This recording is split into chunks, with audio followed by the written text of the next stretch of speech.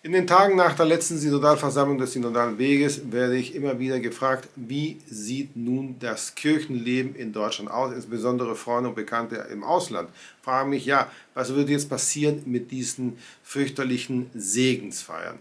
Kann, können normale Katholiken noch überhaupt in die Kirche gehen? Werden Priester, die dagegen sind, jetzt gemobbt? Werden dazu gezwungen, solche Segensfeiern durchzuführen? Und so weiter und so fort es ist gar nicht so einfach, auf diese Frage zu antworten. Es gibt natürlich Gründe, warum es wirklich sehr schlimm sein könnte und wirklich die ganze Atmosphäre in den Kirchen fürchterlich wird, aber es gibt auch Gegenargumente. Ich fange an mit den schlechtesten Hypothesen an, und zwar, es gibt natürlich eine ganze Reihe von Bischöfen, die so durchideologisiert sind mit der Ideologie des Synodalweges, die werden wahrscheinlich ohne Rücksicht auf Verluste versuchen, möglichst flächendeckend diese Segensfeiern durchzuführen. Dann sind sie natürlich definitiv eine schismatische und heretische Kirche, ja, das ist natürlich völlig klar.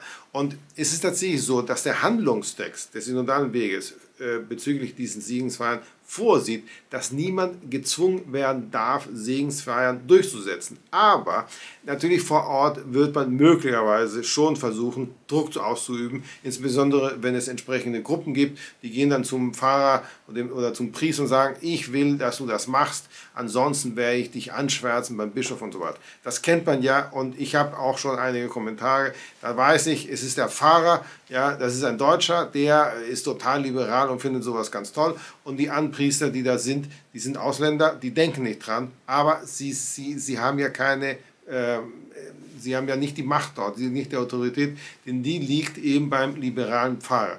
Was wird dann passieren? Es ist jedenfalls ist es so, dass es natürlich sehr spannungsreich wird und die ganze Atmosphäre in diesem Verein ist natürlich völlig kaputt. Ja, wie gesagt, das ist eigentlich das, was passieren könnte. Ja, Zunächst mal muss man rein theoretisch abwarten, dass diese, diese, dieser komische Ausschuss zwischen Bischofskonferenz und äh, Zentralkomitee der deutschen Katholiken diese Handreichung überhaupt entwirft. Ist, anscheinend ist es so, dass einige Bischöfe sofort loslegen werden, insbesondere Leute wie zum Beispiel Bischof Bode, ja, also die werden gar nicht auf so, so eine Handlungs... Äh, so eine Handreichung äh, warten, die werden sofort das Ganze zulassen und werden das laufen lassen und die wollen einfach, dass diese Segensfeiern durchgesetzt werden, ja oder ja. Das ist das eine. Aber es gibt manches, was dagegen spricht, dass man eben diese Angelegenheit mit so einer äh, großen Wucht durchsetzt. Denn wie gesagt, was ich schon angesprochen habe, es gibt ja, in Deutschland hat ja einen unglaublichen unglaublichen Defizit an Berufungen. Das heißt, Deutschland kann ohne Priester aus Polen, Kroatien, Afrika, Indien etc. gar nicht mehr auskommen. Und diese Priester, wenn sie dazu gezwungen werden, die werden alle abhauen. Ja? Und nicht nur das. Welcher polnische Bischof wird eigene Priester schicken in Bistümern, die solche Segensfeiern überhaupt einführen? Ja? Das heißt, Sie sehen, allein die bloße Existenz, die bloße Möglichkeit von Segensfeiern wird dazu führen, dass diese, äh, diese Synodalbistümer, die werden im Grunde genommen untergehen, weil sie schlicht und ergreifend keine Priester mehr haben werden.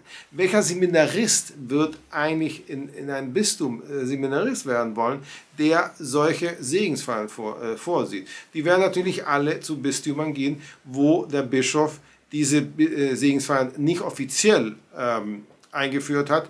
Vielleicht duldet er sie, ja, weil er ja, nicht, nicht da durchgreifen kann und diese Segensfeiern verbieten kann. Aber jedenfalls äh, sind sie zumindest nicht offiziell. Ein Seminarist, jemand, der eine Berufung zum Priestertum geht, äh, fühlt, er wird natürlich zu solchen äh, Bistümern gehen, wenn nicht gar ins Ausland direkt. Das heißt, diese ganzen Synodalbistümer, die werden unglaubliche Probleme haben mit Berufungen. Sie werden keine deutschen Berufungen haben, sie werden keine Berufung aus Deutschland haben und sie werden natürlich kaum Bischöfe finden in der Welt, die sagen, okay, ich schicke dir eigentlich äh, Priester. Ja, das, wird, das, das es wird kaum Bischöfe geben in der Welt, die bereit sein werden, solche Segensfeiern zu unterstützen. Und diejenigen, die das tun, die haben ja selber keine Berufungen. Denn überall auf der Welt, und das ist das große Problem, ja, was diese Leute der, der Synodalkirche nicht sehen wollen, ja, überall, wo man solche liberalen Maßnahmen durchführt, geht die Kirche kaputt. Ja? Also die ganzen Statistiken sind ja völlig eindeutig. Ja?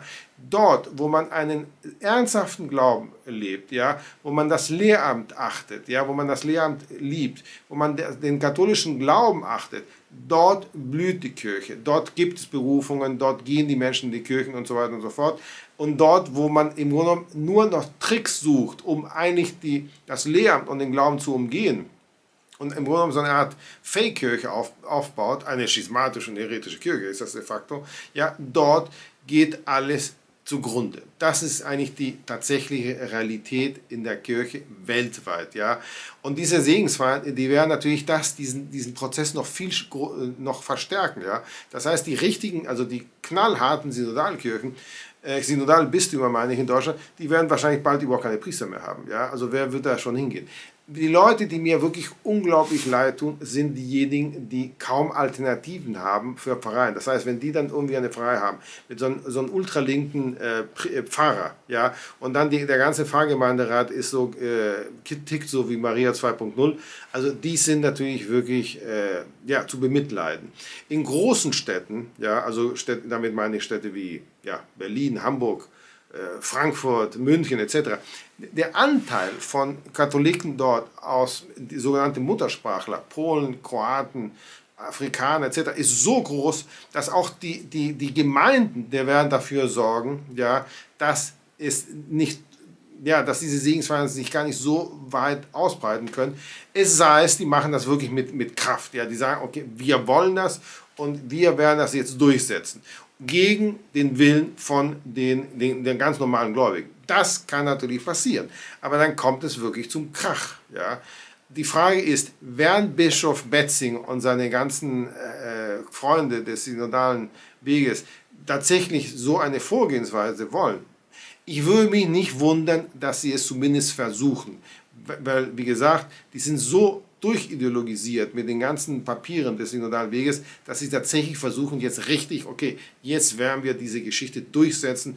Wir haben diese Papiere des Synodalen Weges und die wollen wir jetzt richtig in der Praxis implementieren.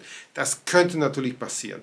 Aber ich kann das nicht richtig einschätzen. Das ist auch relativ schwer, ja, weil natürlich in diesen ganzen Ordinariaten äh, gibt es natürlich Leute, die durchaus gegen diese Maßnahmen sind. Das weiß ich aus verschiedenen Orten. Ich weiß nicht, ob in jedem Bistum, aber in einer ganzen Reihe von Bistums, die ich kenne, weiß ich, es gibt viele Leute, die wirklich sagen, also was ihr da macht, ist schlicht und ergreifend verrückt. Ihr macht die ganze Kirche kaputt. Deutschland macht sich zum, äh, zum Gespött der ganzen Weltkirche und wir werden ständig Probleme mit dem Vatikan haben. Was habt ihr da eigentlich euch ausgedacht mit diesen absurden äh, Entschlüssen, Beschlüssen des synodalen Weges.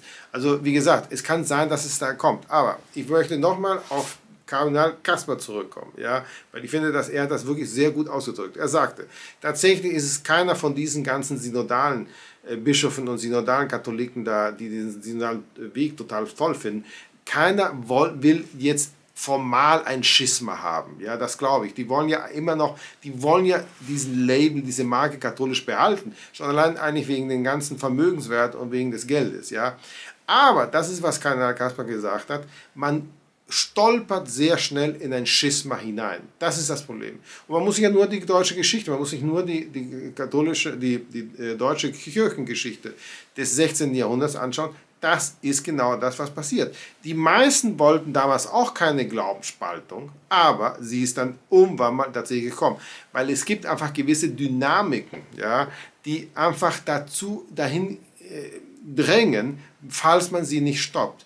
Das heißt, wenn Bischof Betzing jetzt tatsächlich nicht in der Lage ist, einen ganz linken, linken Rand zu stoppen, dann wird sich das natürlich immer verstärken und verstärken, weil sie erheben ja jetzt schon Forderungen, die viel weiter gehen als das, was sie jetzt gerade bei der Synodalversammlung erreicht haben. Das heißt, was Bischof Betzing, ja, nehmen wir an, er hat einen guten Willen, nehmen wir an. Ja, also jetzt, also das, das ist rein hypothetisch. Aber was ich glaube, er völlig unterschätzt, ist, welche Dynamik er jetzt in Bewegung gesetzt hat in seiner eigenen Kirchenrevolution. Ich glaube, er ist so berauscht mit der Idee, ich habe jetzt eine Synodalkirche erfunden. Ja? Ich glaube, er sieht, er, ich glaube, ich, manchmal habe ich den Eindruck, dass er diese Dinge gar nicht mehr richtig einschätzt. Ja?